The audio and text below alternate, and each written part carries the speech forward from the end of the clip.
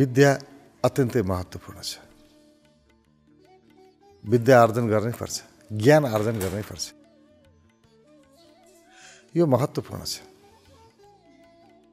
अर्को धन महत्त्वपूर्ण छ। धन आर्जन गर्नै पर्यो। विद्या पनि चाहिन्छ अथवा सरस्वती पनि चाहिन्छ लक्ष्मी पनि चाहिन्छ। यी दुईटा कुरा आर्जन गर्न योग्य छ। र जीवनको मूल उद्देश्य पनि त्यही हो। हरेक व्यक्ति ज्ञानी बन्न चाहन्छ विद्वान बन्न चाहन्छ।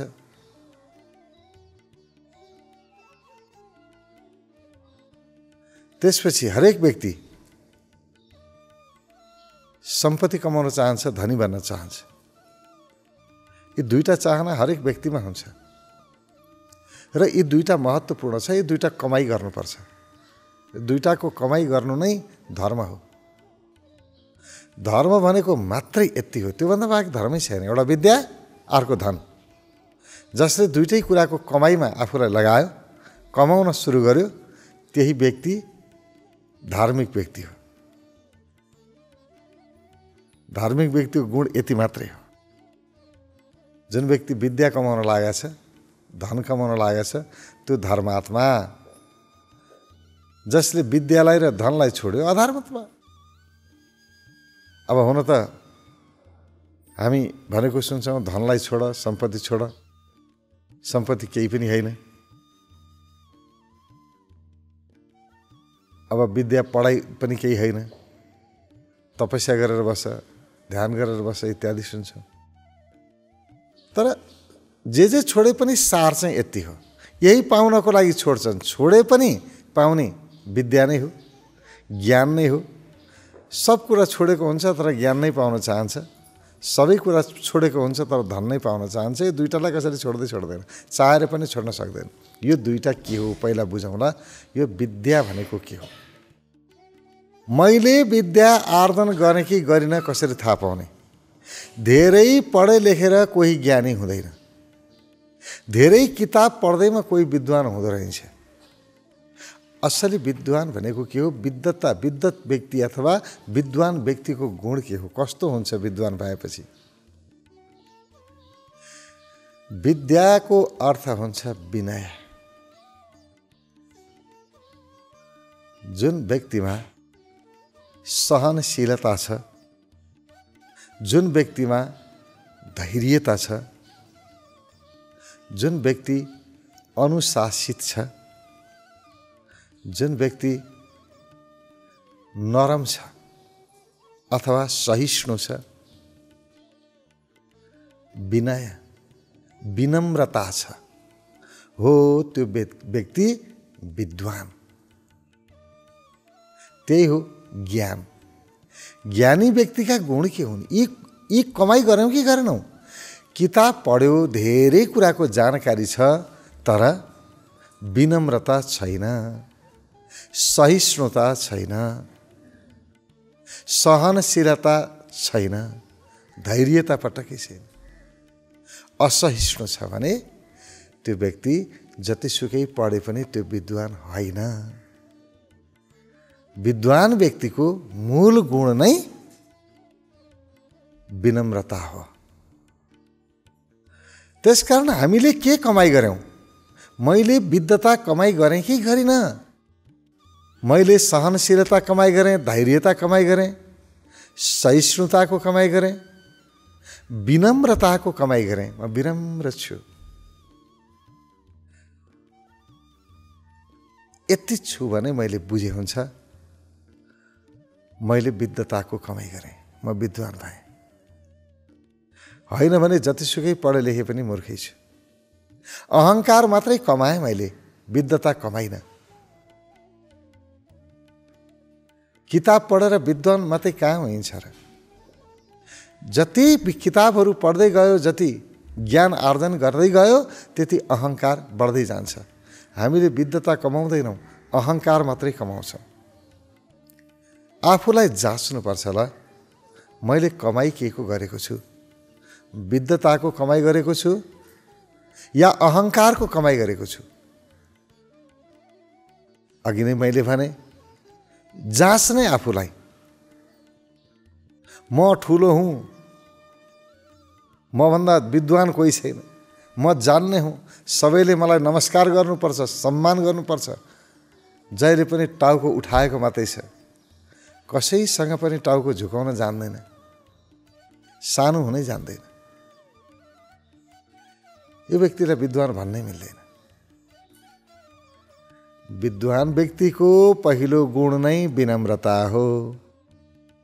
जुन व्यक्ति विनम्र छ यो विद्वान भनेर बुझे भयो कति पढ्यो कति लेख्यो सोध्नु पर्दैन।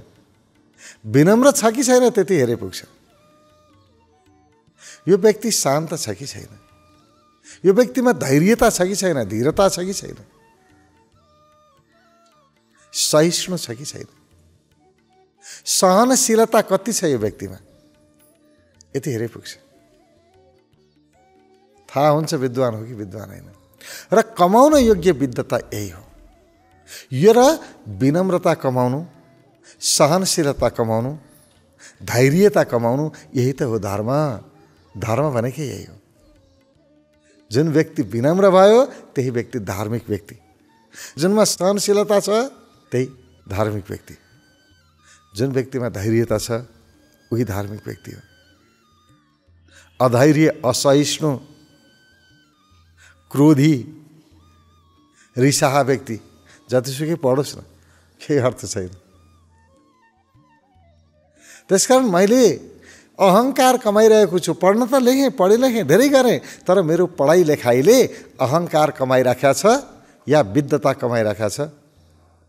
जाँच्नुपर्छ आफूलाई। के को चाहिँ कमाइ गरिरहेछ विनम्रता कमायो भने ज्ञानी भयो अहङ्कार कमायो भने अज्ञानी भयो। अहङ्कार कमाउनु अधर्म हो विनम्रता कमाउनु धर्म हो बस। पढाइबाट दुइटै कुरा आउँछ। पढ्ने व्यक्ति पढ्ने लेख्ने धेरै कुराको जानकारी भएको व्यक्तिमा दुइटै कुरा हुनसक्छ विनम्रता पनि हुनसक्छ अहङ्कार पनि हुनसक्छ कुन बाटो गयो त्यसको आधारमा विद्वान हो कि होइन थाहा हुन्छ धार्मिक हो कि होइन थाहा हुन्छ। विद्या पहिलो दोस्रो धन। धन कमाउनुलाई मैले अघि नै भने धार्मिक व्यक्तिको लक्षण हो जसले धन कमायो। बुझ्नु के पर्छ भने धन के हो? सम्पत्तिसँग सम्पत्ति के को लागि यहाँनिर बुझ्नुपर्छ धन के को लागि? धनको अन्तिम परिणाम हो सुख। सुख सुख उसले कमाइ गर्यो कि गरेन?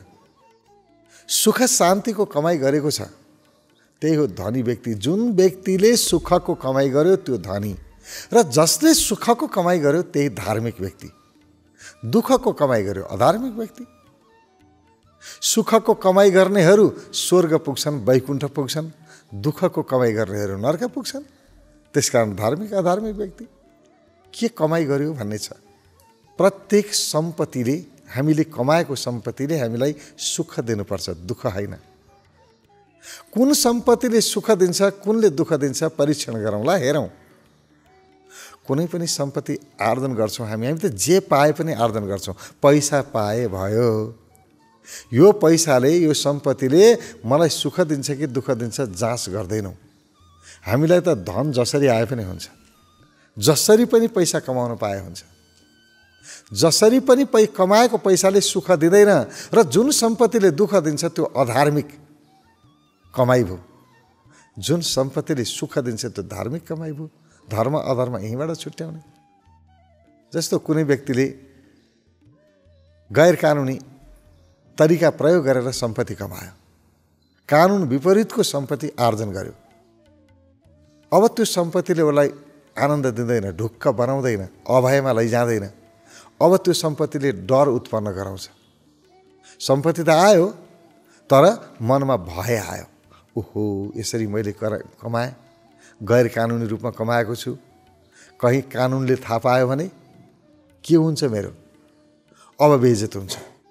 अब के होला? अब यो सम्पत्ति कहाँ लुकाउने होला?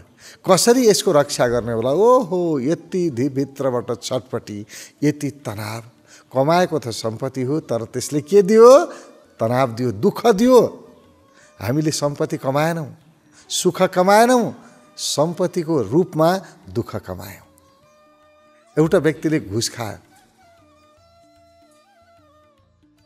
कसैसँग गैर कानुनी रूपमा पैसा लिएर गैर कानुनी काम गर्यो। पैसा देख्यो नि त ठुलो पैसा देख्यो। अब उसले सुरुमा कमाएको त के हो? सुखै कमाएको हो। यति घुस खाएर यति पैसा लैजान पाए आहा क्या रमाइलो हुन्थ्यो। राम्रो घर बनाउँथे राम्रो गाडी चढ्थे। के के हुन्थ्यो हुन्थ्यो। यो धन सम्पत्तिले। अनि कति खुसी हुन्थे। कति आनन्दित हुन्थे। उसले कमाएको त सुख हो तर जान उसले घुस खायो पैसा कमायो। अब यो पैसा लिन पाएको छैन घरमा आउँदाखेरि अब पिरो लिन थाल्छ। कसैले थाहा पायो भने मैले जे गैर कानुनी काम गरेको छु त्यो कुरा पछि छानबिन भयो भने अब म डुब्छु। मेरो जागिर जान सक्छ बेजत हुन सक्छ। जेल पनि बस्न पर पर्ने स्थिति आउन सक्छ। अब रातभरि सुत्न सक्दैन। अब मनमा दुनियाँ प्रकारको छटपटी आउँछ। यस्तो धनले कहिल्यै सुख दिँदैन। असली धन त्यो हो जसले सुख दिन्छ।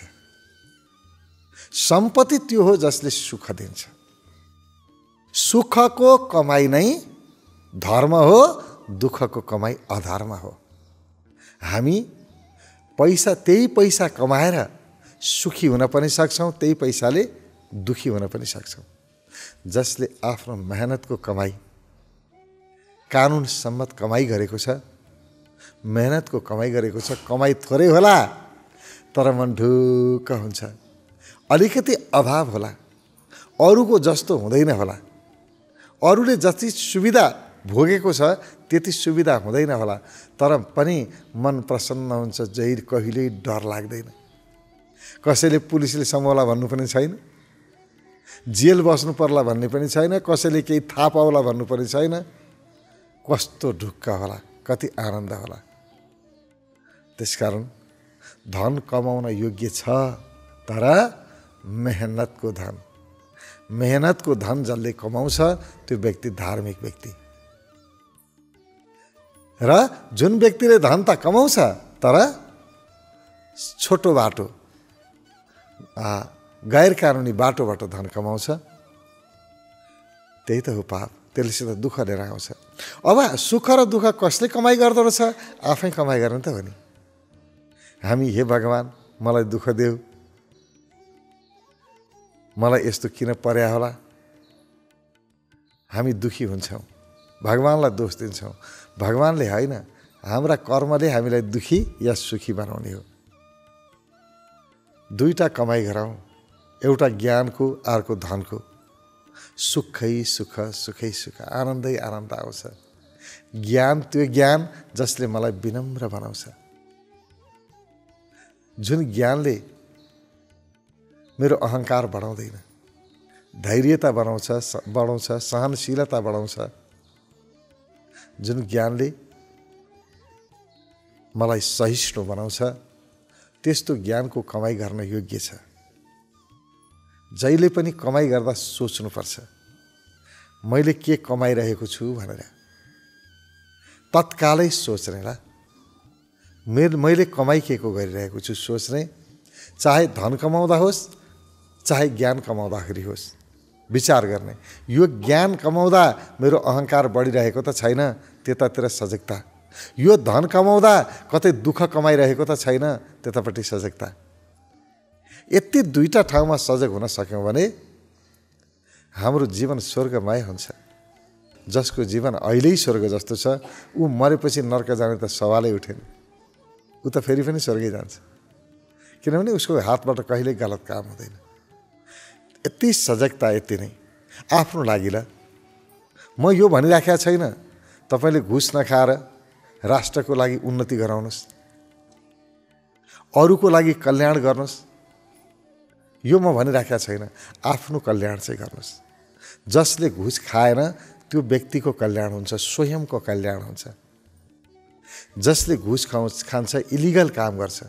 गैर कानुनी काम गरेर जसले पैसा कमाउँछ उसले आफ्नो खुट्टामा आफै बन्छ र हान्यो दुखी उही हुन्छ। जीवन नर्क तुल्य हुन्छ। र यस्तो सम्पत्तिको सम्मान पनि हुँदैन।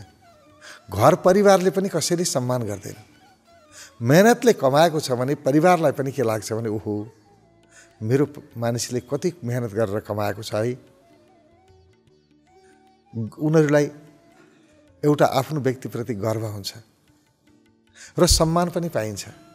तर बिना मेहनत कमाएर वारवार्ती आएको छ न गलत काम गरेर कमाएको छ भने परिवारबाट पनि सम्मान पाइन्न अरूको कुरा छोडिदिउँ र छर छिमेकी इष्टमित्र साथीभाइबाट सम्मान पाउनु त कुरै छैन। सबैले कस्तो घुस्याएर छ भन्छन्। यसले गैर कानुनी काम गरेर कमाएको त हो नि। त्यही आक्षेप आउँछ न इज्जत आउँछ न अभयमा जान्छ। जहिले पनि डराइरहनुपर्छ थाहा पाउँछ नि कि कसैले भनेर। र जहाँ गयो सबैले आफूलाई हेरेर देख्दा त्यो सम्मानपूर्ण हेराइ होइन घृणापूर्ण हेराइ अनुभव हुन्छ। त्यसकारण प्रत्येक पैसाको कमाइमा जे पनि सम्पत्ति आर्जन हुन्छ त्यो सम्पत्ति आर्जन हुँदाखेरि एउटै कुरामा सजग बनाऊ।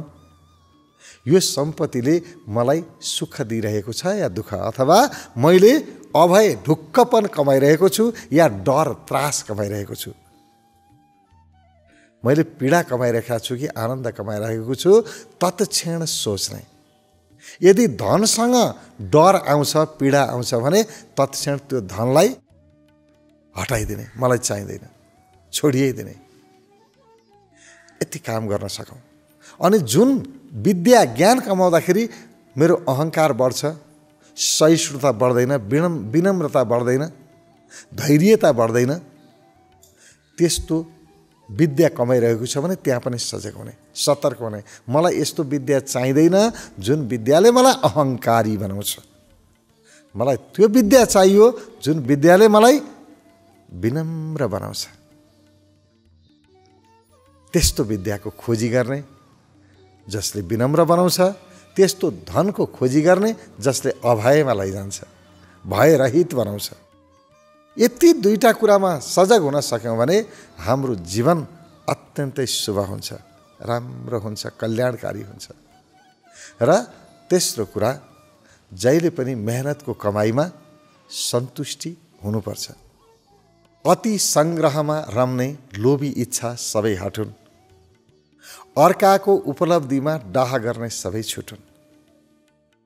यो आफ्नो आफ्नो आयमा त्यही व्यक्ति सन्तुष्ट हुन सक्दैन जो अर्काको आयमा डाह गर्छ।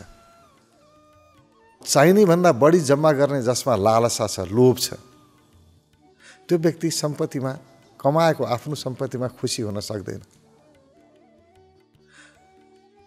मेहनतको कमाइमा खुसी हुन सक्दैन। मेहनतको कमाइले देओस् सन्तुष्टि भरपुरा मेहनतको कमाइले पुरा पुरा मलाई सन्तुष्टि दियोस् त्यतातिर ध्यान दिनुपर्छ। अर्काको उपलब्धिमा डाहा गर्यो कि गयो व्यक्ति? यहीँबाट अपराध जन्मिन्छ। असन्तुष्टि नै अपराधको मूल हो। कुनै पनि अपराध हुन्छ भने असन्तुष्टिबाट हुन्छ। असन्तोषबाट हुन्छ। जुन प्राप्तिमा म सन्तोष मान्न सकिनँ सन्तुष्ट हुन सकिनँ जे पनि मैले कमाएँ आफ्नो कमाइमा जो व्यक्ति सन्तुष्ट हुन सक्दैन त्यही व्यक्तिबाट अपराध जन्मिन्छ अब। अपराधको मूल नै असन्तुष्टि हो। त्यसकारण जहिले पनि असन्तुष्टिबाट बच्ने प्रयत्न गर्ने अरूको उपलब्धिमा खुसी हुने डाहा नगर्ने अर्काको उपलब्धिमा डाहा गर्नु नै दुःखको मूल कारण हो। अब यसले नकारात्मक सम्पत्ति आर्जन गर्नको लागि दुःख दिने सम्पत्ति आर्जन गर्नको लागि प्रेरित गर्छ। अपराध यसैले जन्माउँछ। यो असन्तोष नै अपराधको मूल हो। त्यसकारण आफ्नो कमाइप्रति सन्तुष्ट हुनुपर्छ। किनभने मेरो कमाई मेरो क्षमताको परिणाम हो। मसँग जति क्षमता छ त्यति नै मैले कमाइ गरेँ। अब धन सम्पत्ति बढाउनेतिर लाग्नुहुन्न। धन सम्पत्ति बढाउन चाहने व्यक्तिले सम्पत्ति बढाउन लाग्ने होइन क्षमता बढाउन लाग्ने। किनभने जति मैले कमाइरहेको छु कसले कमाएको मेरो क्षमताले कमाएको। मसँग धेरै क्षमता हुन्थ्यो भने धेरै कमाइ हुन्थ्यो। थोरै क्षमता भयो थोरै कमाइ भयो। यसको अर्थ धेरै कमाइ गर्न के गर्नु पर्दो रहेछ मेरो क्षमता वृद्धि गर्नु पर्दो रहेछ जति आफ्नो क्षमतालाई वृद्धि गरिन्छ त्यति व्यक्ति बढी कमा कमाइ गर्दै जान्छ।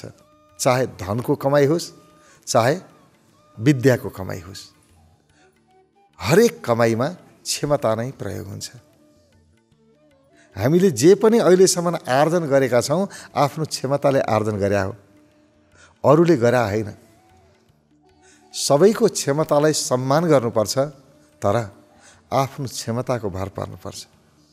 र जसरी क्षमता वृद्धि हुन्छ त्यो काम गर्नुपर्छ। धनको कमाइ गर्ने होइन क्षमताको कमाइ गर्ने। क्षमताको कमाइ गर्नु नै धर्म हो। जसले आफ्नो क्षमता वृद्धि हुने काम गर्यो त्यही व्यक्ति धर्मात्मा। र जुन व्यक्तिले आफ्नो क्षमताको भर पर्छ जसले क्षमताको कमाइ गर्छ त्यसले कहिल्यै गैर कानुनी काम गर्दैन। किन गर्दैन भने उसलाई आफ्नो क्षमताप्रति भरोसा छ। मलाई जे जति पनि चाहिन्छ सुख सुविधा म आफ्नो क्षमता प्रयोग गरेर आर्जन गर्न सक्छु। जसमा यो भरोसा छ उसले गैर कानुनी काम गर्दै गर्दैन। जुन व्यक्तिलाई आफ्नो क्षमताप्रति भर छैन त्यसले गैर कानुनी काम गर्छ। अहिले बल्ल बल्ल जागिर भेट्टा छ फेरि म जागिर खान सक्दिनँ। मसँग कुनै काम गर्ने क्षमता त छैन। म क्षमता भएर काम गर्न आएकै होइन।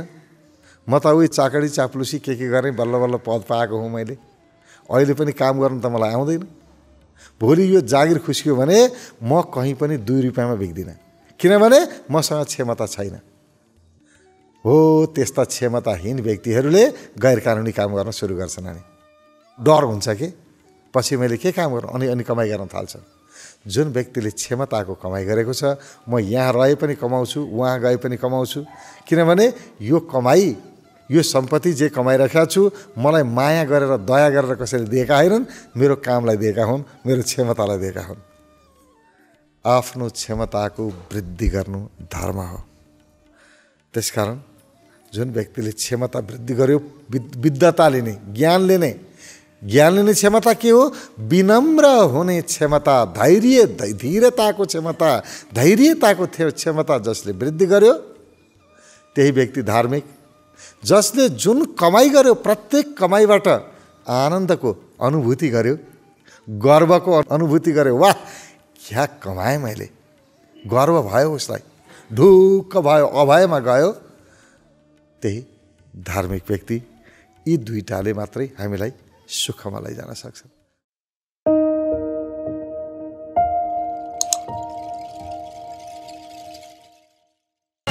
अध्यात्म र व्यवस्थापन मानव मनोविज्ञान सनातन र नवीनतमको सङ्गम जीवन विज्ञान सनातन र नवीनतमको सङ्गम जीवन विज्ञान।